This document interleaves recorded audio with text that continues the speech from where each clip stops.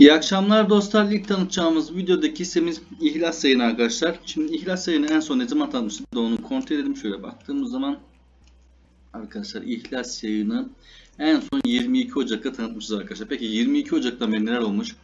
Şöyle hızlıca bir kontrol edelim. 22 Ocak arkadaşlar hemen. Bakın şuradaki 20 Ocak verisine göre değerlenmişiz. Şuradaki yeşil bara göre. Şimdi burada bizim direncimiz varmış. 1.05 direncimiz arkadaşlar iğne bırakmış. Mecbur güncelleyeceğiz. 1.07 arkadaşlar bizim için şu aşama hatta 1.08 1.08 bizim için şu aşamada arkadaşlar direnç olarak karşımıza çıktı. Ee, onun dışında arkadaşlar desteklerimiz bakın 0.83 desteğimiz 4 gün boyunca güzel çalışmış ama tabi ister istemez o deprem öncesi durumdan dolayı arkadaşlar borsanın manipülatif hareketinden dolayı hatta spekülatif hareketinden dolayı böyle bir durum söz konusu oldu. Şimdi artık bu desteğimizi kaybedeceğiz. Yeni desteğimiz 0.73 ve 0.62 olarak karşımıza çıkıyor.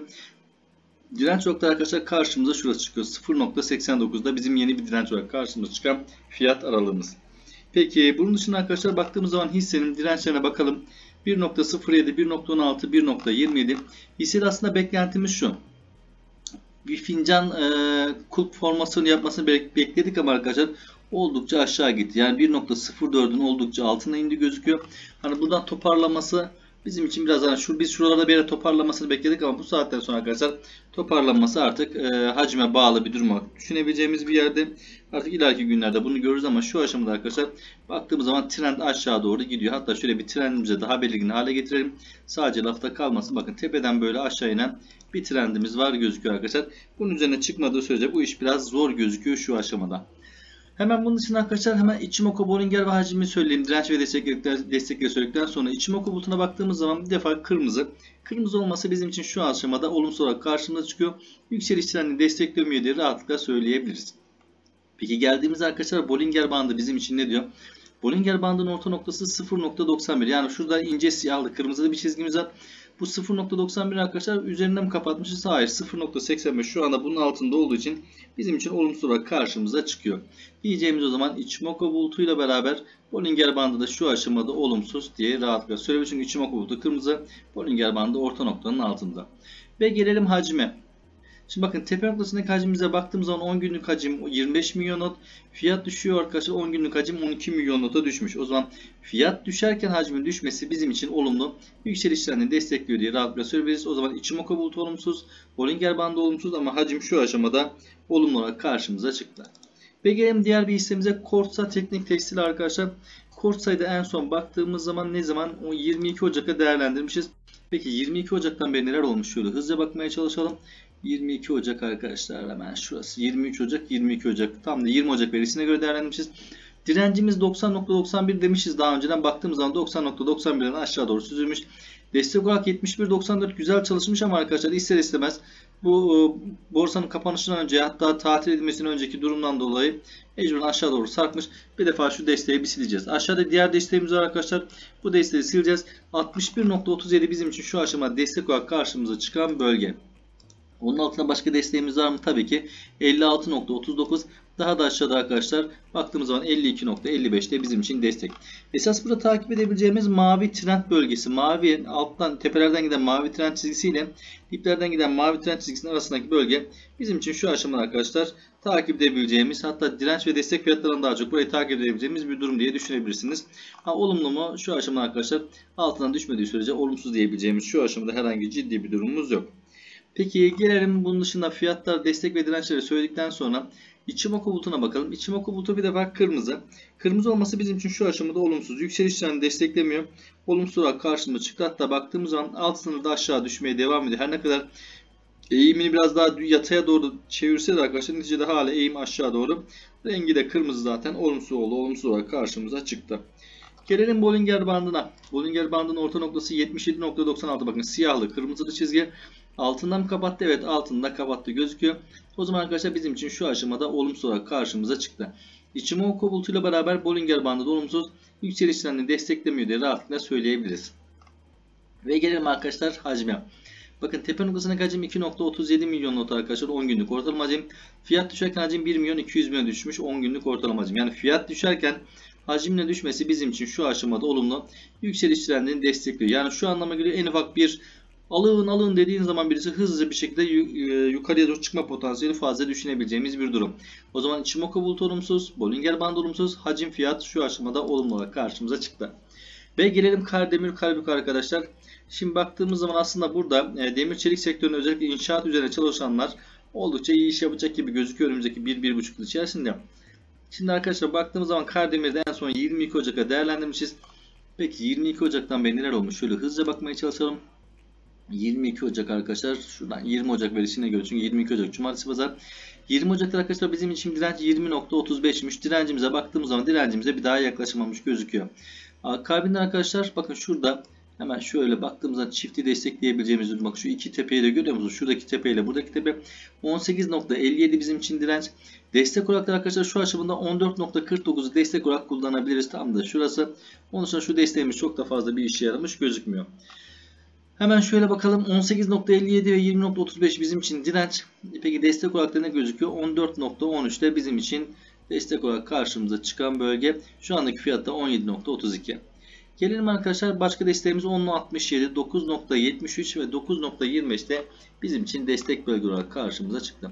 Aslında burada bizim için hedeflenen bölge 22.67 idi. Bunu nereden çıkardık arkadaşlar? Bakın şuradaki e, çanak muhabbetinden dolayı Fibonacci'nin 2.61 seviyesi 22.67 ne kadara kadar yaklaştı? Baktığımız zaman 19.37'ye kadar yaklaştığı gibi gözüküyor. Yani yaklaşık olarak da %15 daha yukarı potansiyeli varken tabi ister istemez bir doymuşluk hissiyle beraber aşağı doğru hafiften bir düzeltme çabası beraberinde böyle bir durumu üzerine de bir deprem olayı arkadaşlar daha da böyle bir durumu meydana getirdi diyebiliriz.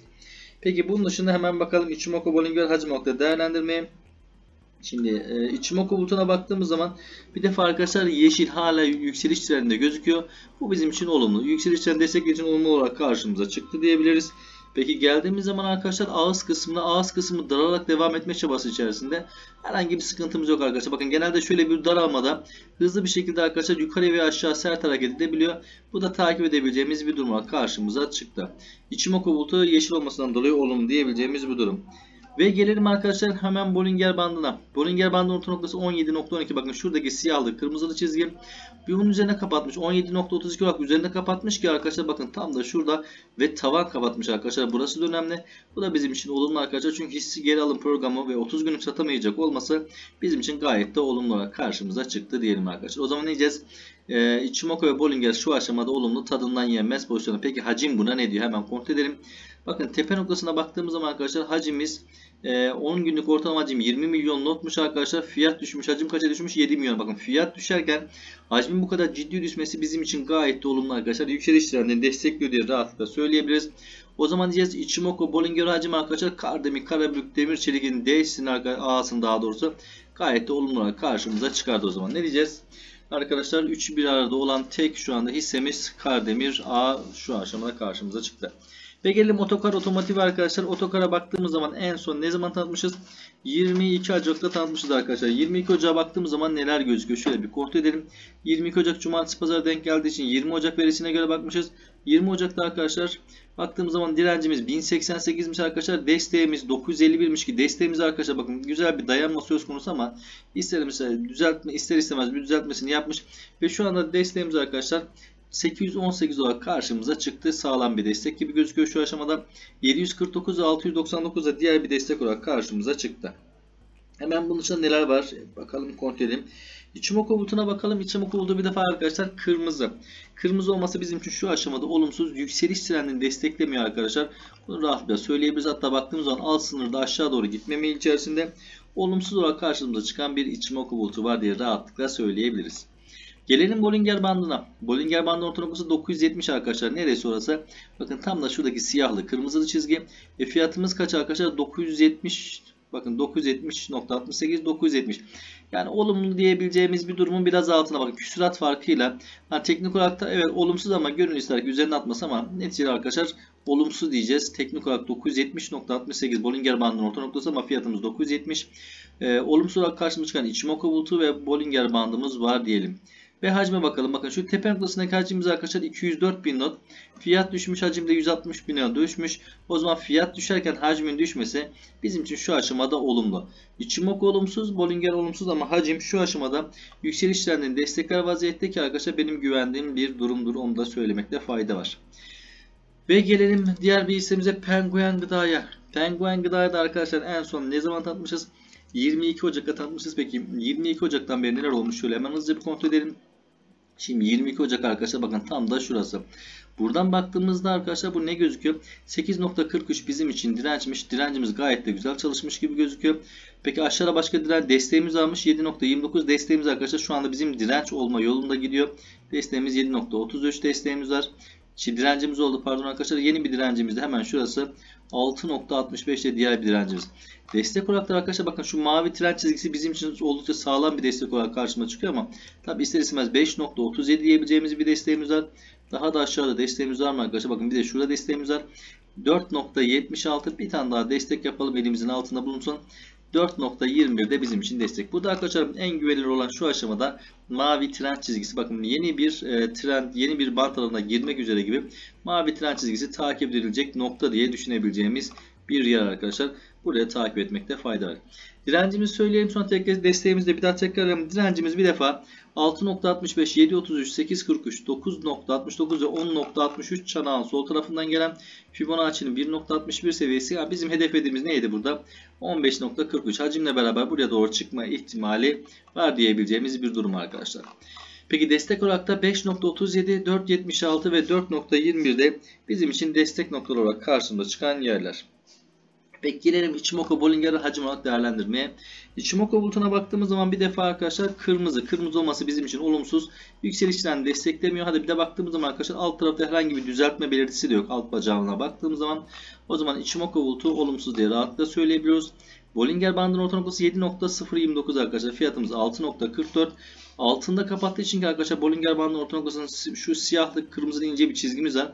Altında kapattığı için bu da bizim için olumsuz olarak karşımıza çıktı. Ve gelelim hacme. Bakın tepe noktasındaki hacim arkadaşlar 12 milyon not. Fiyat düşerken hacim kaça düşmüş? 7 milyona.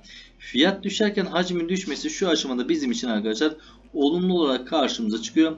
Yükseliş trendini destekler vaziyette durdu. Peki Ichimoku bulutu Bolling, olumsuz Bollinger bandımız hacimin olumlu olması ne yarar? Ola ki arkadaşlar trend yönünü hızlı bir şekilde değiştirmeye karar verirse çok hızlı bir şekilde değişeceği anlamını çıkarmamıza neden olabilir. O de, durumda bu arkadaşlar ve gelelim diğer bir hissemize. Pasifik Gayrimenkul Yatırım Ortaklığı. Şimdi arkadaşlar PSGYO da gayet de sağlam bir hisseyken tabi ister istemez şu manipülatif hareketten dolayı hisse arkadaşlar aşağı doğru daha güzel bir şekilde çekilmiş. Şimdi desteğimiz aslında 6.18 ama desteğimizi ister istemez güncelleyeceğiz. Destek şu aşamada 5.57 arkadaşlar. Direnç olarak karşımıza ne çıkıyor? Direnç olarak karşımıza çıkacak bölge 7.18. Şimdi buradan hemen şöyle bir bakalım. Direncimiz 7.18, 9.20 ve 10.31. Desteğimiz de 5.57 olarak karşımıza çıkıyor. Şimdi bunun dışında başka bir desteğimiz var mı? 3 gün boyunca düşemedi. 4.24. Aşağıda arkadaşlar şöyle baktığımız zaman da 3.76'da bizim için destek noktası olarak karşımıza çıkıyor. Ben bu kadar düşeceğini pek de düşünmüyorum açıkçası. Yani bilemezsin ama bu düşüncedir. Sadece Hani yükselme potansiyeli belki olabilir ama şu aşamada arkadaşlar durum bu şekilde karşımıza çıktı. O zaman Jess Ichimoku ve Bollinger ve hacime geçelim.